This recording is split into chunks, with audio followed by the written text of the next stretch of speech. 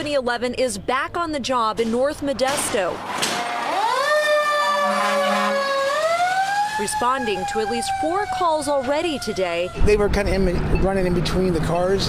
including this one on Sylvan and McHenry, where a man and woman were struck by a car after witnesses say they stole something from a convenience store and ran across the street into oncoming traffic to get away. This- It just it shocked the. I think it was. Uh, I'm not sure. Uh, at no time whatsoever. It hit a, her just as like that. So The engine returned to Station 11 on Pelandale Road last week thanks to a more than $2 million federal grant the fire department received last fall to increase staffing levels for emergency response. Uh, we did receive that, and that allowed us to be able to hire nine firefighters and then staff Station 11. Interim Fire Chief Alan Ernst says the additional firefighters and engine is already improving response times in North Modesto. Anytime we lose any kind of piece of equipment, it affects the surrounding areas. And then if they're on a call, then it's even coming from a farther distance. So by being able to add a piece back has been tremendous for us. The engine, which was previously on reserve, will also allow the department to respond to more fires in a growing region of the city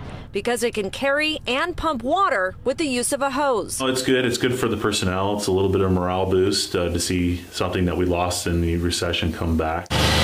And in this case was among the first on scene to provide help to two injured people. it happens more and more often with people, uh, you know, crossing the streets uh, against lights and jaywalking, bicyclists with no lights at night. And there they go on a call right now. Now, the fire department is hoping to keep this program going beyond that expiration date for the grant in January of 2019 and is currently working to identify a funding source. In Modesto, Linda Muma, KCRA 3 News.